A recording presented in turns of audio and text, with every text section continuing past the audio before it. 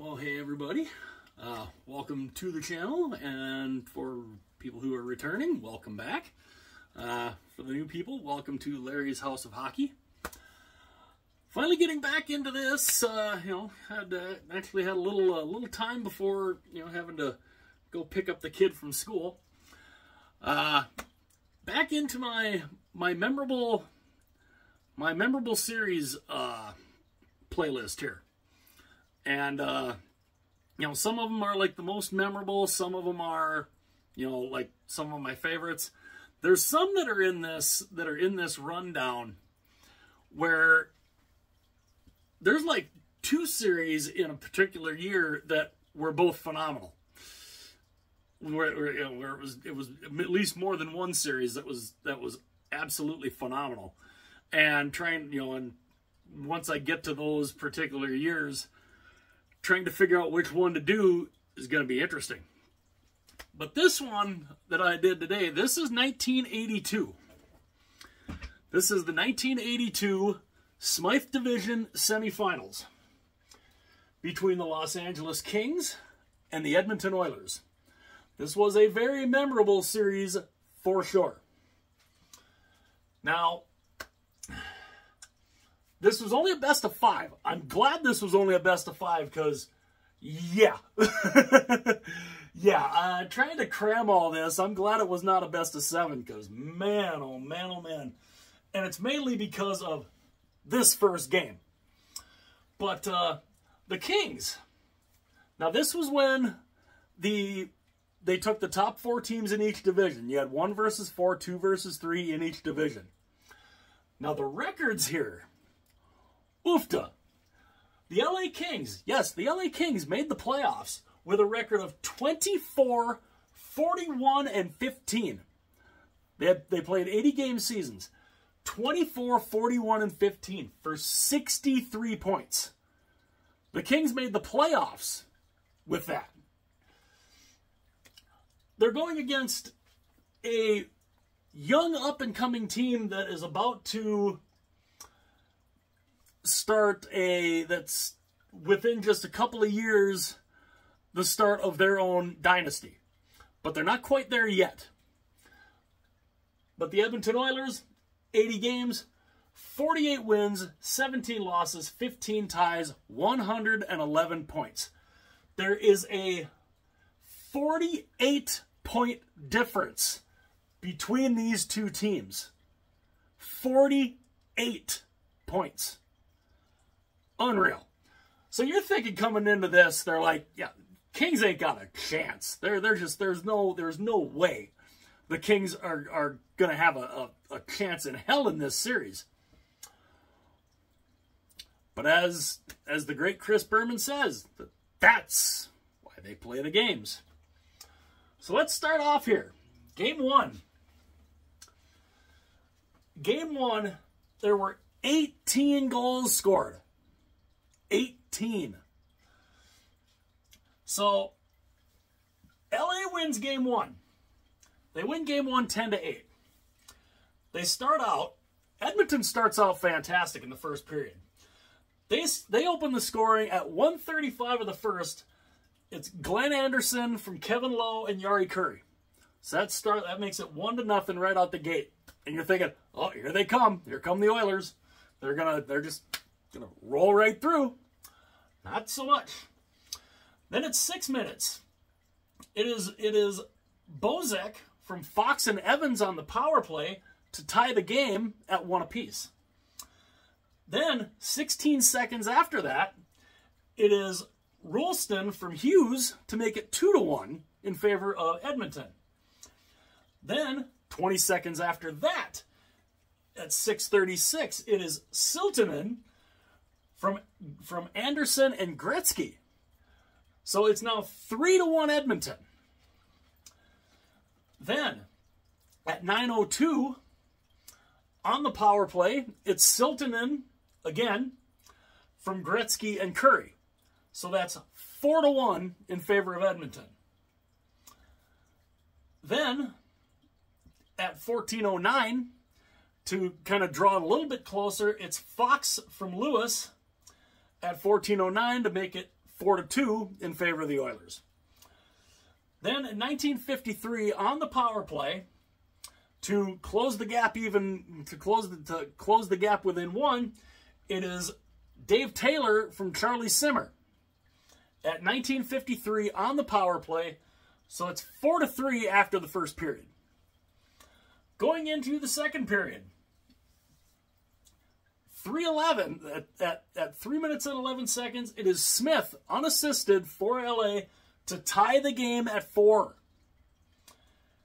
Then, on the power play at 917, it is Marcel Dionne from Taylor and Murphy. So it's now 5-4 Los Angeles. Then 1330, shorthanded, it's Charlie Huddy, unassisted, to make it 5-5. Then at just like 40, was it 47 seconds later on the power play, still uh, still on the power play, it's Dionne from Taylor and Evans. So it's 6 to 5 in favor of the LA Kings. Then at 15 minutes, it is Evans from Smith and Hopkins. It's now 7 to 5 Los Angeles. It's then then to make it 7 to 6, it is Lumley from Gretzky and Lariv, Lar, I think. If I'm butchering his name, if I'm butchering the name, I apologize. But uh, they score at 17-22. It's 7 to 6. Then, with under a minute to go, it is Evans from Bonar and Lewis. Yeah, Bon, yeah, Bonar. I had, to, I had to look at that too to make sure that it wasn't spelled or pronounced like, you know, you, you know. I think you guys know. but uh, but yeah, it's it's Evans from Bonar and Lewis at 1936. It is 8 to 6 LA after two periods. So we go into the third.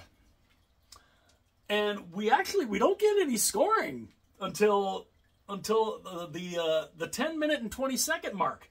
It is Gretzky from Anderson and Kurri. So it's now 8-7 in favor of LA. Then 12-10 of the third period. It's Hagman from Messier and Siltanen. 8 eight. You're thinking, holy cow, you know, could Edmonton still come back and steal this after, you know, being ahead and losing the lead? Well, not quite. The game winner, the game winning goal is scored at 14:56 of the third period. It is Simmer from Taylor and Dionne makes it 9 to 8. And then 1908 of the third period, scoring into the empty net it is Bernie Nicholls from Fox, 10 to 8. Los Angeles wins game 1 10 to 8. Wow. Yeah, 80s hockey? Uh, yeah.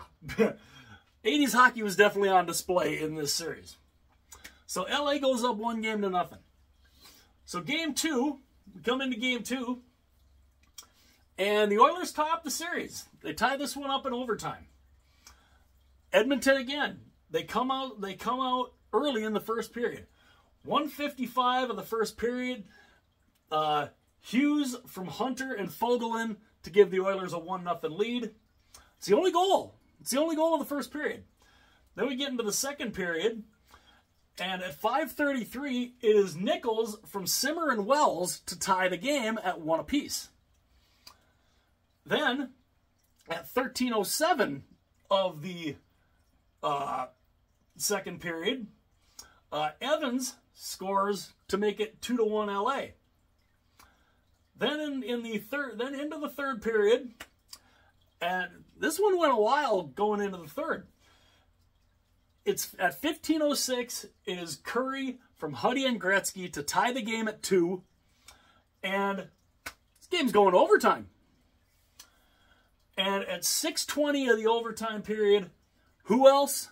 Wayne Gretzky from Charlie Huddy and Lumley, LA or, or Edmonton ties the series at 3 to 2. And one thing I forgot after the first game here, going going back to the first game here, uh, goal the goaltenders. Uh, Mario Lessard was the goalie for the LA Kings. He went he stopped 25 of 33 and had a 758 save percentage in game 1. Grant Fuhr went 25 of 34 with a 735 save percentage. The power plays, LA went 3 for 9, Edmonton went 1 for 7. Game 2, as we've gone through that now, Lessard stopped 43 of 46, a 935 save percentage for the game. Grant Fuhr stopped 33 of 35 for a 943 save percentage. Really good. LA went 0 for 7 on the power play. Edmonton went 0 for 5. Now we get to a very interesting game here. I didn't even I didn't I I didn't even try to try to figure out the the whole power play thing cuz oh yeah, there was there was a lot of uh yeah, there was there was some fighting and a lot of 10 minute misconducts and and yeah, I was I was like I'm not even to try to count the power plays cuz holy mackerel, there was like there was like 40 penalties in the game. It was nuts. So game 3, game 3 starts. This is the this is the memorable one. This is the one that everybody remembers. Game 3. LA wins this game 6 to 5 in overtime.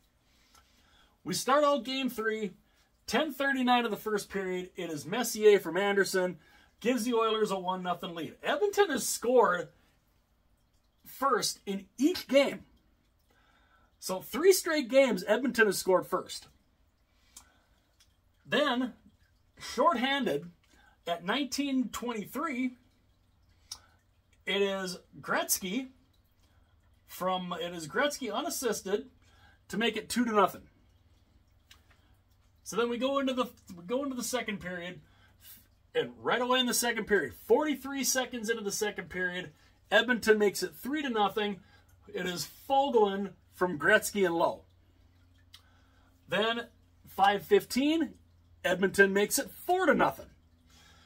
It is Siltanen from Gretzky at 5:15, and then on the power play at 14:02, it is Gretzky from Anderson and Gregg. Five nothing after the second period. Game's over, right? Not so much. Let us uh, let us go into what becomes the miracle on Manchester. 246 of the third period. It is Wells from Dionne and Murphy. It's 5 to 1.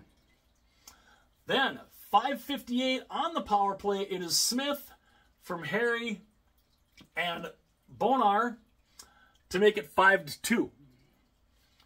Then 1438 of the third. It is Simmer from Hopkins. 5 3. Then at 1559, it is Hardy from Bozek and Murphy. 5 4.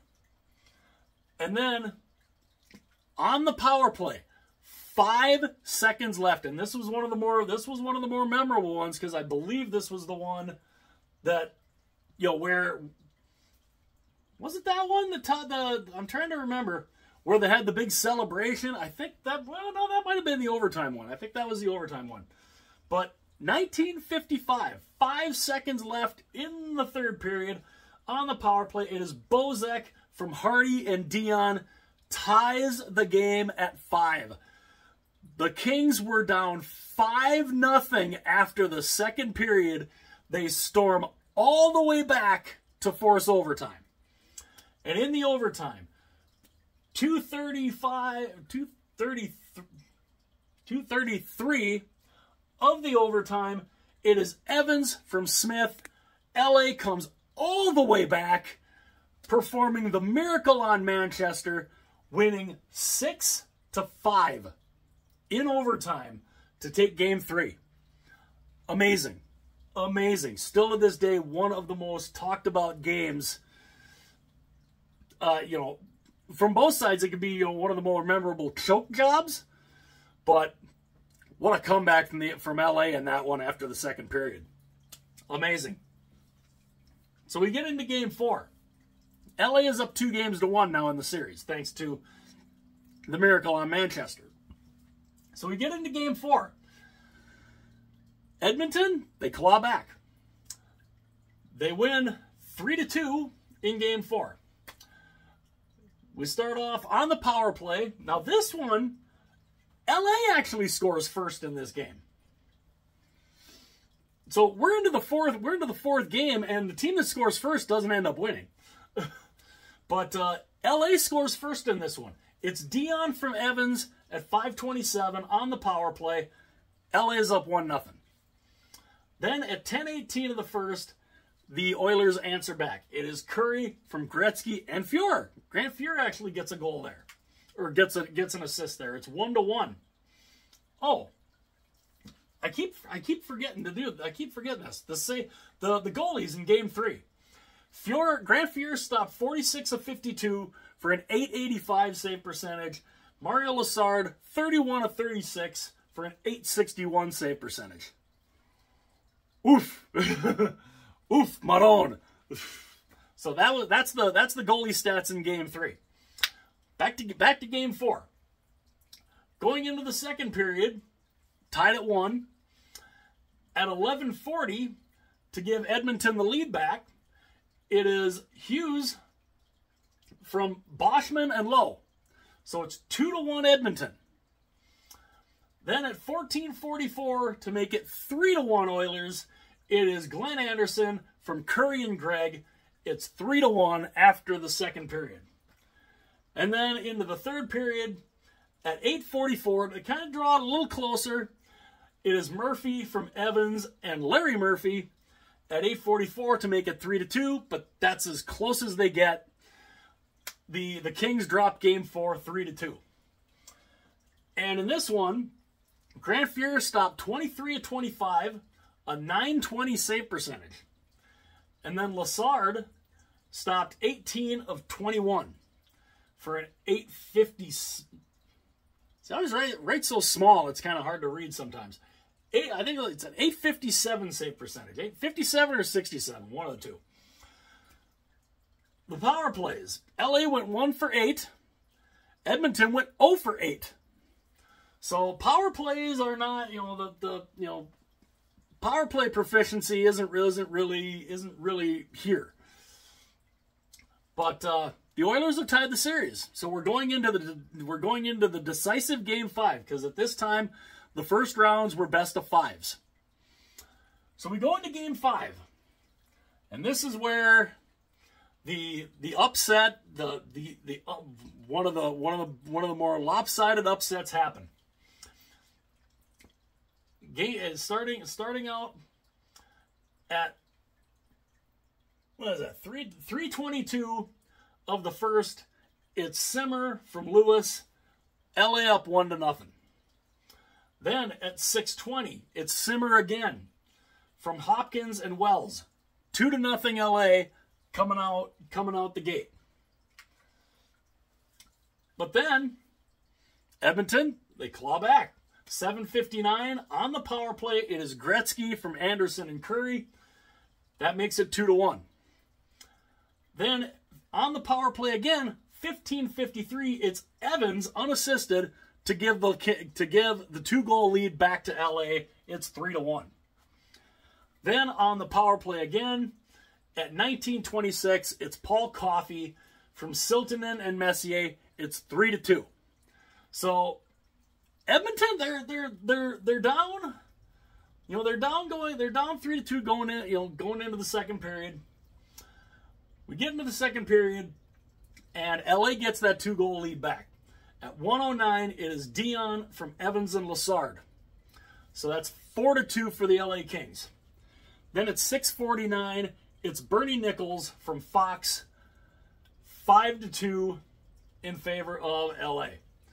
And then at 1555, it's Bonar from Chartra and Simmer. Yeah. so 15:55 of the second period. It is six to two Los Angeles.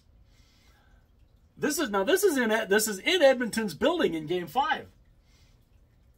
So it's six to two after two periods. Then we go into the third. At 306, it's just LA, LA just keeps kind of piling on here. At 306, it's Bonar from Taylor and Lewis, 7 to 2 in favor of the LA Kings. Edmonton, they try to claw back. At 551, it's Unger unassisted to make it 7 to 3. And then at 1424, this is as close as they get. Lumley scores from Paul Coffey to make it 7 to 4. They try to come back. It's it just it does it doesn't happen. Lessard stopped 40 of 44 for a 909 save percentage. Grant Fuhr went 24 of 31, a 774 save percentage. LA went 1 for 4 on the power play. The Oilers went 2 for 5. And one of and that is one of the biggest upsets. It's got to be one of the bigger upsets point wise. Because, I mean, that's a 48 point difference. And, yeah, LA, LA, you know, I mean, this, and this was the neat thing. You know, because, because people today, if, if people today saw this record and said, how the hell did they make the playoffs? Well, that's how it was then we'll get as as we get later on in this playlist, you'll see you'll see another team with a record that makes the playoffs, and you're like, at where today people would people would just be they they'd be losing their minds. That's they'd be losing their minds at some of these records that get in the playoffs. But uh, but yeah, the 63 point LA Kings beat the 111 point Edmonton Oilers in the 1982 Smythe Division semifinal. Game three, of course, the miracle on Manchester. Amazing. Amazing. Just, you know, I mean, what, what, what can you say? Just an unbelievable, unbelievable series.